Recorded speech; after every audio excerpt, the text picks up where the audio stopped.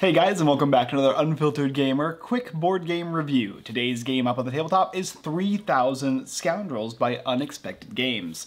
This is a 2 to 4 player game that involves bluffing and treachery. Your objective is to gather scoundrels. There are a total of 3000 combinations of scoundrels in this game, so you're going to be getting different types of uh, characters and their traits along with their different types of jobs, and you'll be attaching them like an annoying dog, etc, etc. And you are going to be placing them down onto your board, utilizing their abilities. And why? Well, because you are going to want to go to the depot, the estate, and the laboratory to gather safes. Safes will provide victory points, and if you have the most after two or three days, you are going to be the winner of the game. Now, I'm going to explain the basic idea of how this game is played and what you need to do to set the game up, and then we'll go into my review. We have a quick one, today where we just kind of discuss what I thought about the game. Setting the game up is pretty simple. You'll take the main game board, and you will set in front of all players. You'll place your victory points marker on the zero area, and then you're going to place a number of cards in the depot, estate, and laboratory, different colors, setting one aside. You're going to place one of each of your, I guess, betting tokens in the sheriff's jail, and then you're going to set the starting characters and their starter jobs slash roles or traits up, and then based on the number of players, you'll have a certain number of these guys that you're going to position. And then after that, each player is going to get a player board for bucks, a bunch of these tokens that they'll be using throughout the game, a deck of seven cards, and if you're playing with the more advanced variant of the game, you'll have this bonus ability slash uh, passive ability that you can use when playing a six number, and you'll set it down. And that's pretty much all you need for the setup for the game. There is different variants, there are ways you can play longer games, and uh, the main thing you're gonna need to know is all on this player reference card. But that's the setup, how the game is played. So over a number of rounds, either two or three, you are going to be doing these steps. You will plan, so you'll draw four cards from your poker deck, and the poker deck cards are gonna be one through uh, six, I believe. Yeah, there's seven total cards. Oh, and an ace. So zero, ace, two, three, four, five, and six. You'll shuffle these guys up and you're gonna have four of these guys here. And you're gonna be placing down all of them and you'll be placing down them on the bottom of your board. So if I take my board here and you look at it, you will see an ace through six. So you can place any one of your cards face down here. And when you do, players can decide whether or not you're telling the truth because you can choose to lie. Regardless of whether you lie or not, you'll get that ability. And the ability can be uh, scouting a safe from one of the different locations or gaining money, or you can just simply steal a safe. And finally, the sixth slot is either nothing, or it's going to be based on what your scoundrel do, scoundrels do, or if you have the bonus abilities. And like I said, when you place down, it doesn't matter what your card says. It could be a, a, zero card, you can put it on a three. You will get the ability and trigger all your cards.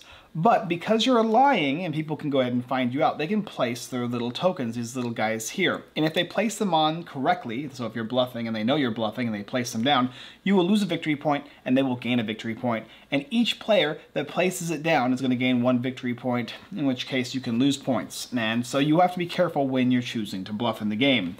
But like I said, either way, you'll get to do whatever the ability is after you place this down and do your ability and check to see if you have any um, abilities from your scoundrels that you've gathered throughout the game, then you are going to be able to either hire a scoundrel or you can go ahead and use the sheriff's office. Using the sheriff's office is easy. You gain two victory, or two, not victory points, I wish, two money, or you can spend two money to free your henchmen, or you can spend four to free two. And henchmen are these little betting tokens you'll be using. And finally, uh, if it's the final day only, you can spend $12 and you can steal a safe from any site that you would like. Money's worth nothing in the game, so you might as well use it or lose it. So these characters here, you can also choose to buy them instead of going to the office. And it's gonna have a value on the very far right hand side. It's based on dollars. So this guy here, he's got $8. So he's gonna be very expensive, but he'll give you a unique ability and how you can use it. So in this case here, it's when he's hired, use it twice, and then discard from the saloon. The saloon is like your little area here. Spend $2 to steal a safe from a site. It's really good. Uh, or other guys might say something like this one here. If you place a two or a three card, you can send an opponent's henchman or betting token to jail, which is over here, uh, even if it's on a card. And some of these guys will work differently. Some of them will allow you to use them when you activate a certain card in your board based on how you choose to place. You can always rearrange placement when you get a new guy. And after you've purchased one of these guys here or use the sheriff's office, you're going to put a new character down. If you bought one here, you'll just simply replace the empty space. And if you did the sheriff's office, you'll take one off here, you'll switch it take one of the traits and jobs and slide this guy on in here. If I can, if I can slide it in, ah, it's on this side. And this is going to be a way to give you unique combinations of scoundrels. Bam, you put it down, and now you've got an annoying dog that you can buy. After you have placed and used the abilities in any order that you'd like, you can use the scoundrel abilities first, you can choose to use the card ability, and then you've hired a scoundrel or you've went to the sheriff's office and done one thing, then you're going to go ahead and pass. And the next player will go, next and next. And you'll go through this four times. After you do this four times, then you're going to rinse and repeat the round. You'll be taking your deck of cards, shuffling them, putting them on the bottom of your deck, drawing four more cards, meaning one of your old ones will come to your hand, and playing this all over again. And your objective is, like I said, to steal safes. Each of the areas has different values of safes, more expensive ones in the lab, but more difficult to get the better ones, whereas the depot is going to have a range of 3 to 5, the lab will have a range of 2 to 7, so more risk, more reward type of a thing. What's also cool about this game too is scouting safes. You can take your little markers and place them on safe locations, and when somebody takes that safe with that marker, if the marker matches the safe, you score an extra point for each marker that does. So if I put a 5 on a 5, I can get 6 points at the end of the game for having that safe. And also what's really cool about it too is you can lie. You can put a 2 on a 7 so that people don't want to take it because you might not be able to take and mark a safe on the same turn. So to keep prying eyes away from that safe that you want to keep, you can put it down there. But people might think the double cross is, is fixed and might try and take that safe as well. Uh, regardless though, each day or each round, you're only going to be able to get one safe. And that's going to tally up to your total victory points at the end of the game. So maybe you have a 5, 5, and a 4, 14 points. You can have victory points based on the scoundrels that you have. And um, there's also one more way you can have victory points in this game. Oh, oh, whenever you make bluffs or whatnot based on the cards and uh, placing your little your little guys here, your little henchmen, you can score points going up this track as well. And that's basically the idea of the games. Go those two or three days, depending on if you're playing the easy mode or the more complicated mode of the game, and whoever has the most points via safes, via your different scoundrels, and how you used your henchmen is the winner of the game 3000 Scoundrels. Let's talk about it. First and foremost, this is a bluffing and deduction game. You are utilizing your wits to buy new scoundrels with unique abilities and to place down cards in their proper slots or their improper slots to gain the ability and the ability of the scoundrels that you're using. You want to check and make sure that opponents most likely are doing the correct actions based on how they're playing. So if they put down a 3 and gain some money and a 4 and gain some money, and then they used a six, which normally is bad, but some for some reason they have a bunch of sixes on their board and they just use one last turn. And so they use all their active abilities again. Oh, I, I drew this again, even though I had it last round.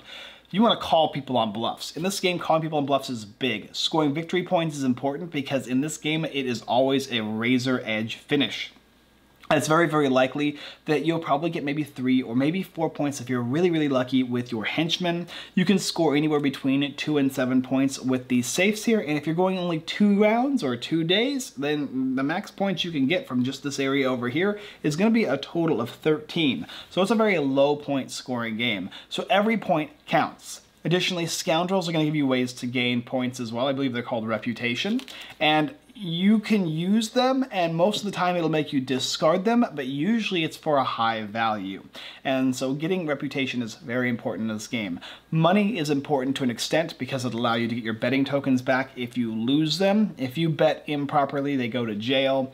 Um, if you bet correctly, they'll come back to you and you'll score points. So having those tokens around is always important to do making sure that you always get at least one case is important. And if you don't, the max you can get is the amount of rounds that you are playing. So you can choose to wait longer, but the longer you wait, the less good crates are going to be there. The less good safes that you can pick up are going to be there because people will find them and take them and keep them if they can. This game has a lot to offer, especially in replayability. There are so many unique cards and the ways in which they function. Now, it says 3000 and that is technically correct, but for the most part, you'll know what the abilities do and how they function after a few games for, for almost all of the characters. Uh, because the traits will be based on the stack of cards here, and a lot of them are just going to involve how you can use them and not really what they do, um, and maybe a benefit or two. And these guys here, the uh, the, the jobs here, these are what are actually what you're going to be using how they work. So this one here I draw, oh, okay, it's after you steal a safe. And then it could be after you steal a safe, you can discard this to gain five bucks, or spend $3 to steal an unused safe, or lose reputation to steal a safe from a site, etc., etc. So it's really just combinations of how to use these cards here. These are your main, main go-tos. But of course, with better combinations as opposed to having to uh, only play it on a four or a six or maybe maybe as an as opposed to only playing it on a, a, zero or a six a four or six is better or instead of it having to be a specific card maybe it's at the start of your turn which is also much better. Uh, you'll be able to use these guys more. So finding what is the best type of combination is going to be most important. And sometimes good combinations can come cheaper than um, bad combinations. You could have two really good cards that don't work very well together that are very expensive compared to one bad card and one good card that work together and are cheap and so you want to pick those up if you possibly can. The artwork in this game is excellent. This is feels like an old rundown saloon, and you're a bunch of scoundrels going into different locations trying to steal their different uh, safes. You're, you're borrowing from the treasury, so to speak. And that is really, really fun. It feels good to take from here. You always want to be careful when you take. It's, it's not about how many you can get, but about the best quality that you can have. Because at the end of the game, everyone is going to have safes equal to the number of days. It's very unlikely somebody won't get it. Because at worst case scenario, you have to force a bluff, you take a safe, and then you lose some points. But it's worth it because you can gain points overall. Uh, the, so the theme works very well in this game, and the art is very complementary to it as well. Mechanics are really great too. Having to determine when somebody is lying or stealing is great. This game has a lot of great qualities. Um, few negatives, I suppose, is it might be difficult to tell when people are bluffing, especially during the first round of play, and so you might want to save your specific henchmen to use when you know it's more likely that people are going to bluff. Uh, there's a bigger risk uh, to a person, uh, for a person to bluff than there is for you to put down your guy. But getting those guys back can be troublesome, it could cost you money, and you might want to use that money on other better things, potentially based on what you have. Comboing is really cool as well, but if you're not really careful about how you place and where you place, you're gonna have to start rearranging. Uh, if you get a bunk card that just because you think it's worth a lot of money, it might not be actually that good. You might rather get a card that's worth three or four and save your money to, ba to bail out your guys, and that card might be even better than the one that would cost six or maybe even seven just for an ability that doesn't work with what you're doing here.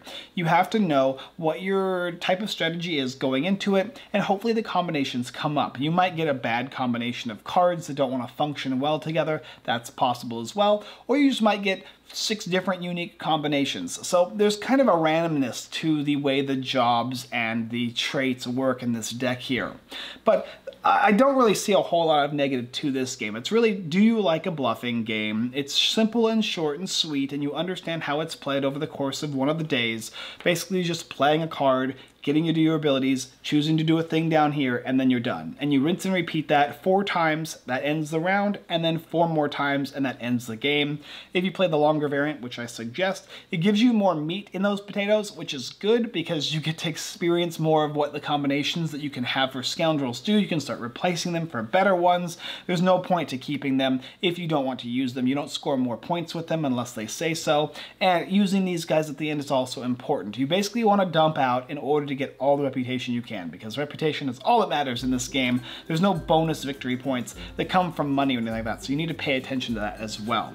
But yes, overall, 3000 Scoundrels is a lovely game. I think for the most part, if you know what this type of game is and it's something that you think you would enjoy, I would say that you are going to really enjoy it. Thank you guys for watching another Unfiltered Gamer board game review for the game 3000 Scoundrels. If you're interested in the game, there's a link down below in the description where you can pick up the game. You can also go to our website, unfilteredgamer.com, blog posts, giveaways, Kickstarter lists, and more. All right, guys, subscribe, hit that bell button notification to see more of our videos here. Join our live stream every Sunday at 6.30 p.m. PST to see us play games just like this one. And for now, that's all I got for you. And as always, I look forward to stealing the better safes from you next time.